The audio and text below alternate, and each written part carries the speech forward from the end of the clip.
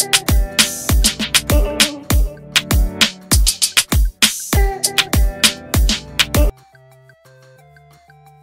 ธาบอกคันไม้คันมืออยากบริหารประเทศชีโคราช เหมาะจัดคอนเสิร์ตระดับโลก พิธาเดินสายขอบคุณชาวจังหวัดนครราชสีมา พร้อมหารือภาคเอกชน บอกคันไม้คันมืออยากบริหารประเทศชีโคราช เหมาะจัดคอนเสิร์ตระดับโลก เมื่อวันที่ 8 กรกฎาคม 2566 ที่จอ นครราชสีมา นายพิธาลิ้มเจริญรัตหัวหน้าพักและแคนดิเดต นายกรัฐมนตรีพักก้าวไกลเดินทางมาพบปะและขอบคุณพี่น้องประชาชน เนื่องจากเป็นจังหวัดที่พักก้าวไกลชนะการเลือกตั้งสสเขต 3 เขต จากทั้งหมด 16 เขตส่วนสสบัญชีรายชื่อพักก้าวไกลได้คะแนนเป็นอันดับสองของจังหวัด โดยนายพิธาได้พบปะกลุ่มผู้ประกอบการเอกชน หอการค้าสภาอุตสาหกรรม จังหวัดภาคประชาสังคม จังหวัดนครราชสีมา ที่โรงแรมฟอร์จูนนายพิธาแต่งกายด้วยเสื้อเชิ้ตแขนยาวสีน้ำเงิน กางเกงยีนสีเข้มลงจากรถมาพร้อมรอยยิ้มพร้อมรับดอกไม้ช่อใหญ่ ซึ่งเดินทางมาที่โรงแรมช้ากว่ากำหนดการเดิมประมาณหนึ่งชั่วโมง เนื่องจากแวะปั๊มน้ำมันระหว่างทาง และถูกแฟนคลับจำนวนมากขอถ่ายรูป ทั้งนี้บรรยากาศเต็มไปด้วยความชื่นมื่นมีด ส ทั้งสามเขตมารอต้อนรับได้แก่เขตหนึ่งนายฉัดสุพัฒวณิชเขตสองนายปิยชาติรุจิพรวสินและเขต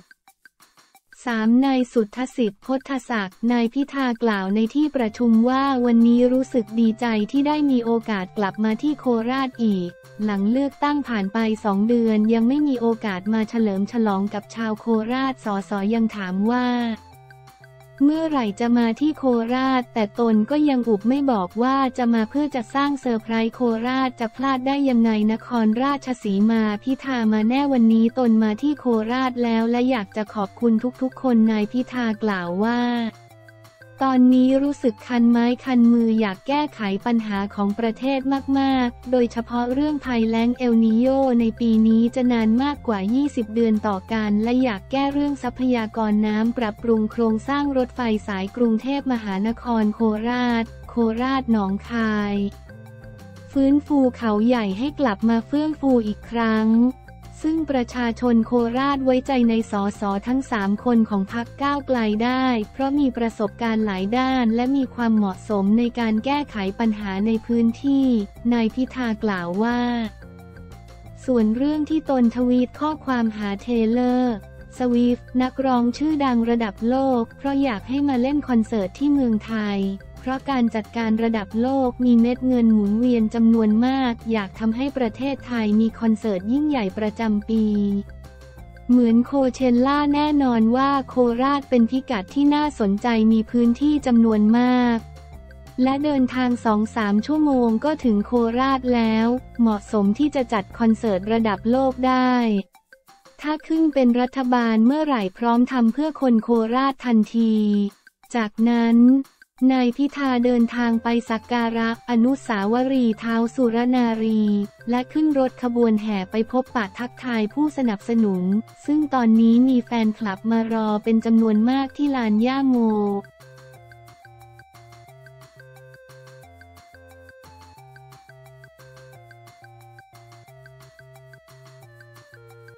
เดียนาปลื้ม ไวร่าผ้าถุงลิซ่าใส่เที่ยววัดกระตุ้นตลาดผ้าไทยการท่องเที่ยว แง้มหัวใจไม่โสดแล้ววันที่ 8 กรกฎาคม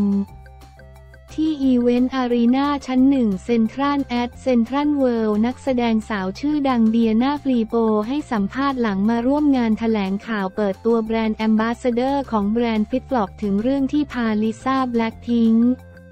ไปเที่ยววัดที่อยุธยาแล้วใส่ชุดผ้าถุงไทยจนกลายเป็นกระแสฮือฮา ทั้งในส่วนของผ้าไทยที่หลายคนสนใจอยากใส่ตาม รวมถึงแห่ไปตามรอยที่วัดแม่นางปลื้ม นอกจากนี้ดาราสาวยังอัปเดตหัวใจอีกว่าตอนนี้ไม่โสดแล้ว ถามถึงกระแสผ้าถุงผ้าไทยที่ลิซ่าใส่ ธุรกิจที่บ้านขายดีเลยไหม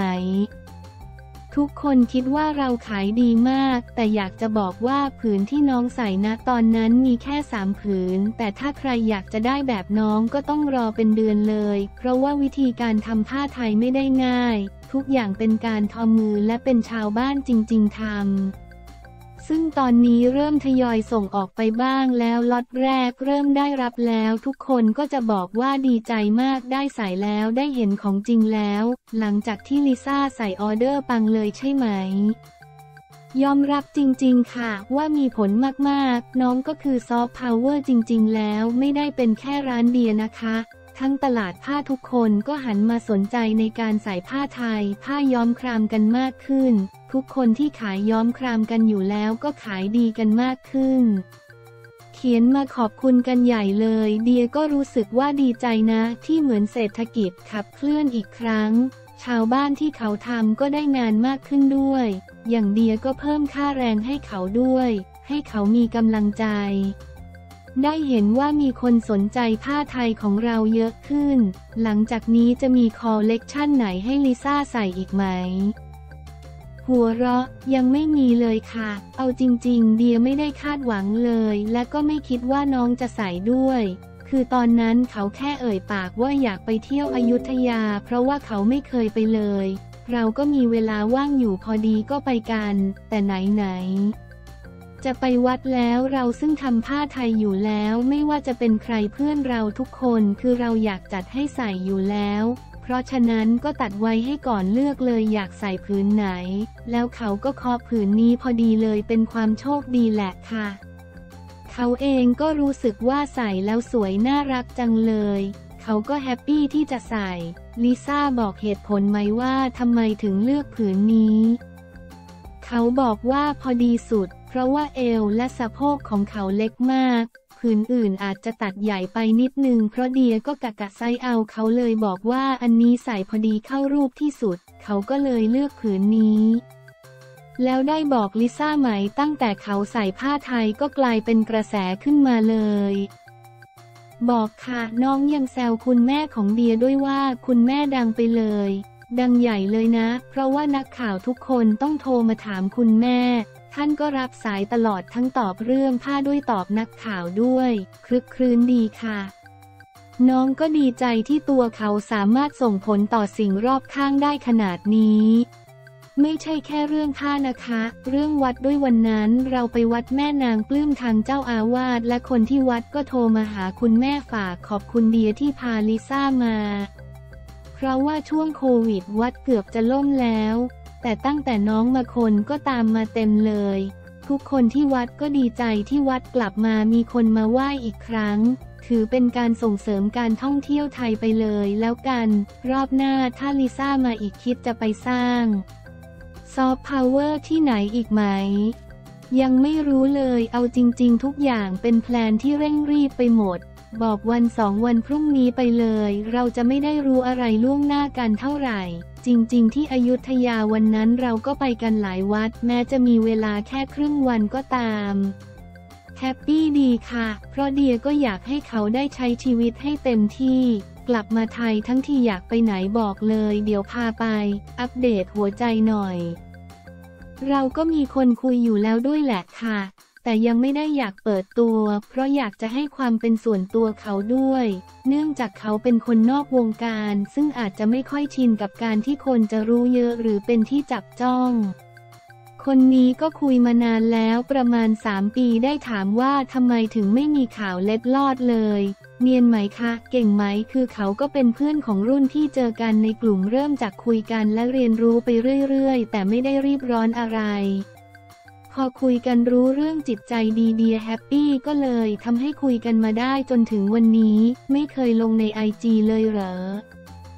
อาจจะมีไกลๆทุกคนอาจจะไม่ได้สังเกต หัวเราะ จริงๆ เขาไม่ได้ขอเรื่องความเป็นส่วนตัวหรอกค่ะ ทุกอย่างก็แล้วแต่เราซึ่งเราก็รู้สึกว่าแบบนี้ก็ happy ดี ไม่ค่อยวุ่นวายดี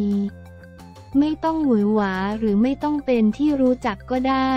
มันใช้ชีวิตง่ายดี แต่ว่าไม่ได้ปิดนะ ทำทุกอย่างไปห้างปกติเลย เพียงแค่ว่าคนอาจจะไม่ได้สังเกตมากกว่า คิดว่าเมื่อไหร่จะเปิดตัวหรือรอแต่งงานทีเดียว